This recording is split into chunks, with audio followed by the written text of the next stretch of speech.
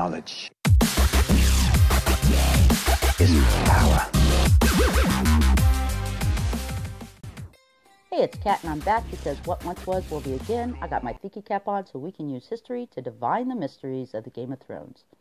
And this time we're going to talk about Brienne of Tarth, who is quite obviously Joan of Arc in history.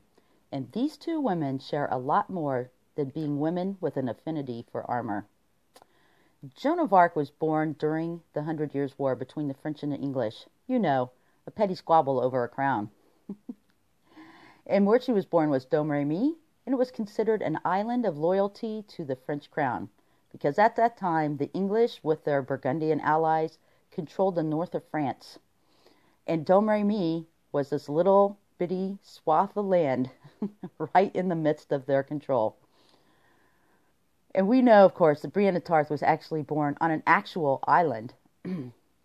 Very much like Joan of Arc, Brienne of Tarth, Joan of Arc were both being raised in the womanly arts. They were being taught to weave and to spin and basically do all those woman things. But neither of them were all up for that. Joan of Arc's dad tried to arrange a marriage for her, and she refused, which is pretty interesting considering the time period they are in. The women just did not do that. They didn't refuse. They took their father's word and they married when they were told to. Brienne of Tarth is said to have actually done the same thing. She refused a marriage arranged by her father, who became very angry with her. I can imagine that that's the same thing that happened with Joan of Arc.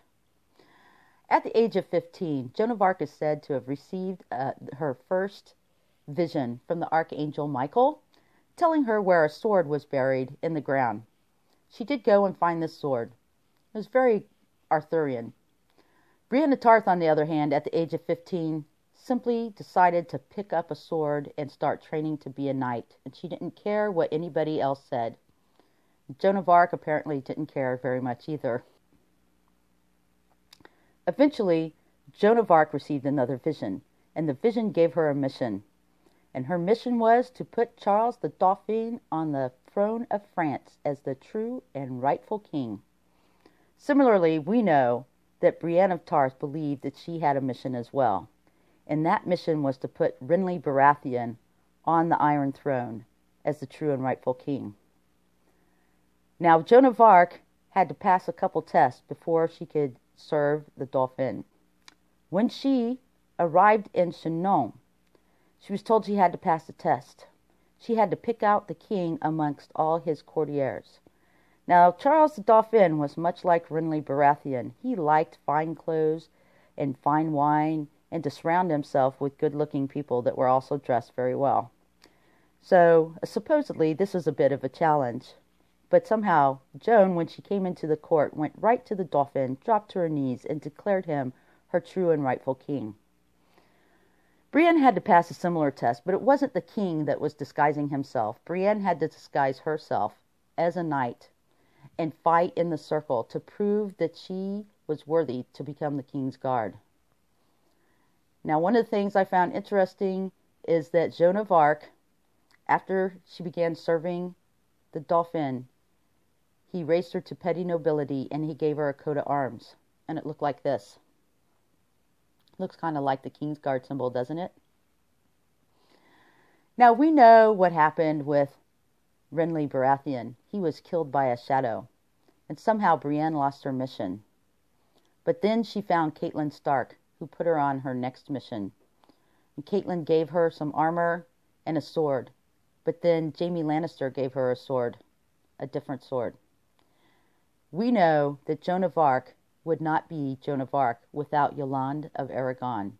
She was a very strong woman, much like Catelyn Stark, and she was the one that was pushing Charles the Dauphin to seek his crown. Without her, he might not have kept going. And she was the one that arranged for our friend Joan of Arc to come to the court. And then she arranged to get her armor, a sword, and a banner.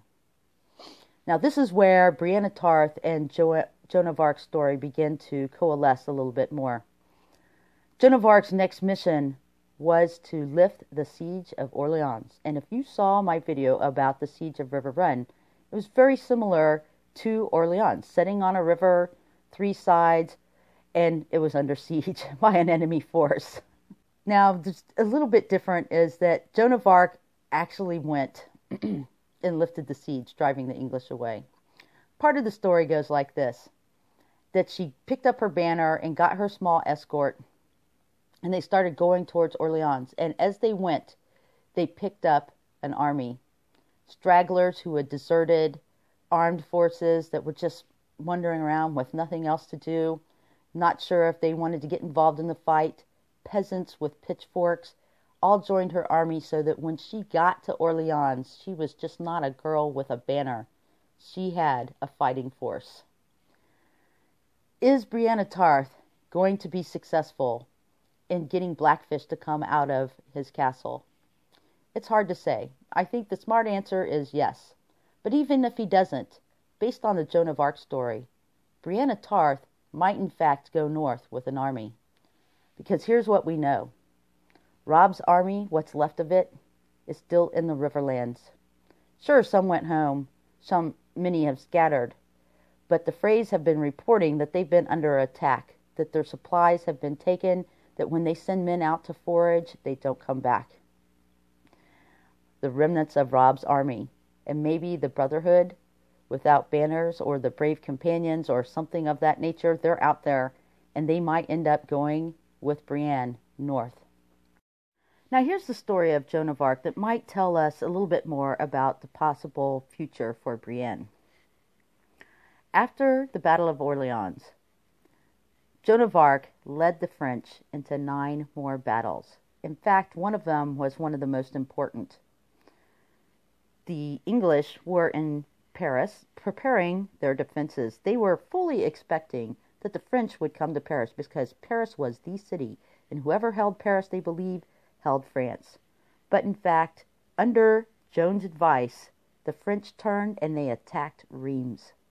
Because Reims was the ancestral city where all of the kings of France had been crowned.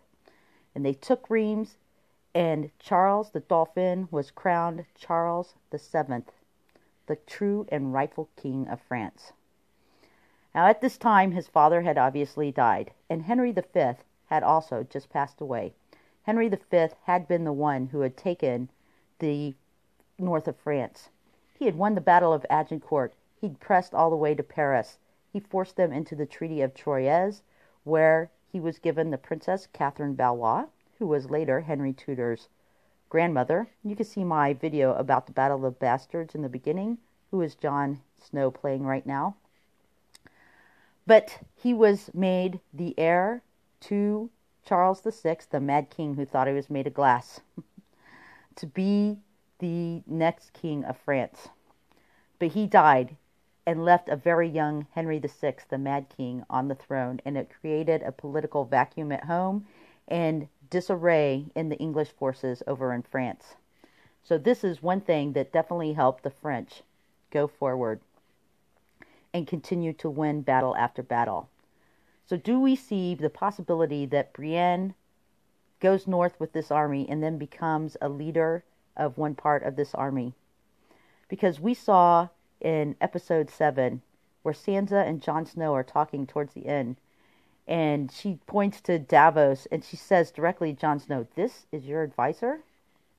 And it's a super good question because Davos has taken on the role of Jasper Tudor at this time. Jasper Tudor was Henry Tudor's uncle, and he'd been fighting the War of the Roses for quite some time. But he, just like Davos, he'd been on the losing end over and over again.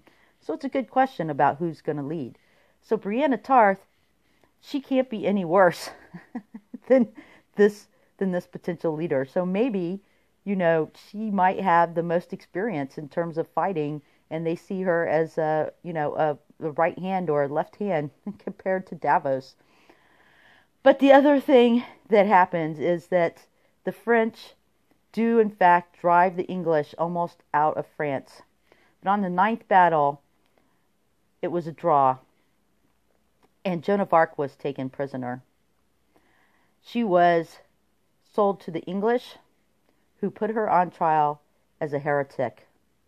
They claimed because she wore men's clothing that she was violating a stricture of the Bible, that men were men and women were women, And it's one thing to don men's clothing for an, one expedient measure, or maybe two, but it's another to do it over and over again. And this proved her to be a heretic.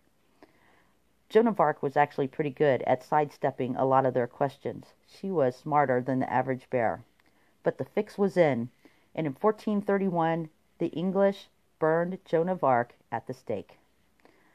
Now, the reason they did this was pretty obvious. They thought if they got rid of Joan of Arc, the leader of this movement, that they would squash this movement and they would get back on track to taking back the rest of France.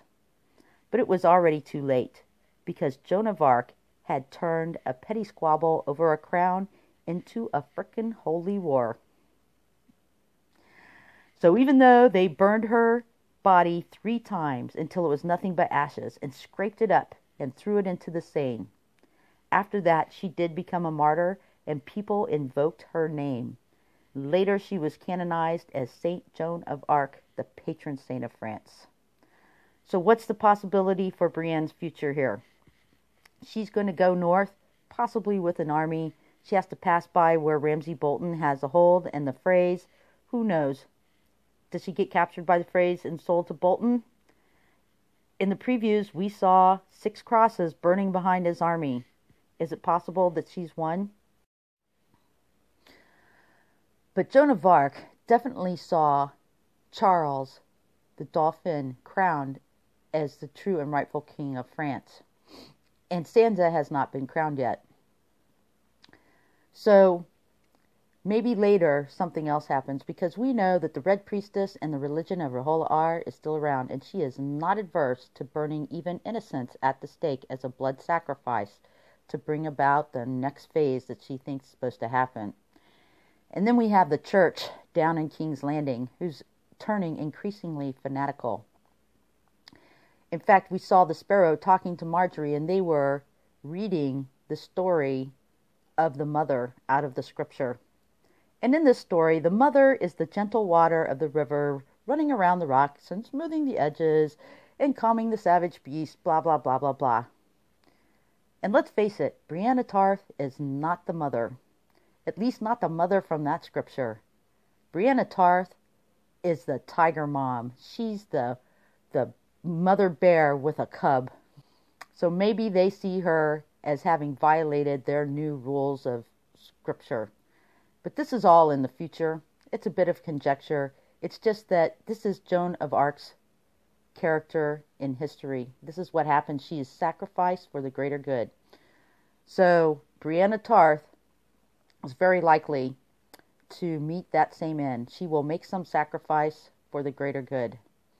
And maybe, like Joan, who became Saint Joan, the patron saint of France, we see Brienne being invoked as an inspiration and becoming Saint Brienne, the saint of the North. Thank you very much. Read history. It's awesome. It tells you almost everything you want to know about the Game of Thrones. Almost. I also recommend a couple movies. There's a movie about Joan of Arc with Ingrid Bergman, and in this one, Ingrid Bergman is playing the very saintly and modest, divinely inspired maiden. You know, purity.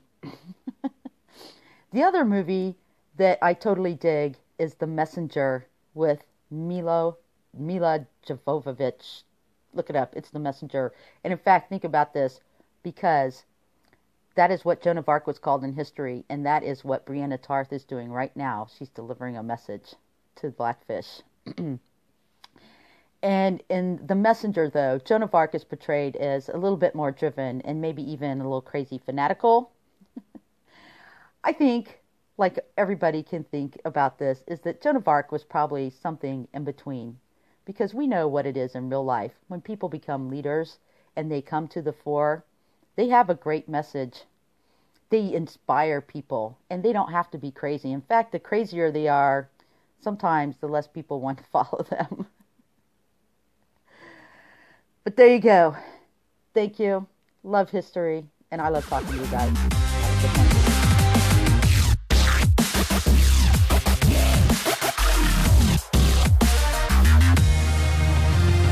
knowledge.